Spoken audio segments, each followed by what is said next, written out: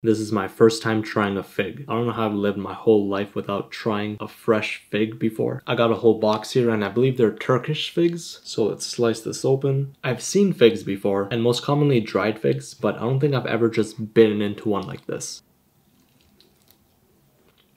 It's a lot of tiny seeds. It's not super sweet. Hold on, what is that flavor? The texture is almost like a dense kiwi, but I don't know, the flavor isn't really that strong. It's almost like a really mild kiwi or maybe like a chiku or like a sapodilla. Maybe this one's not as ripe. Let me try another one.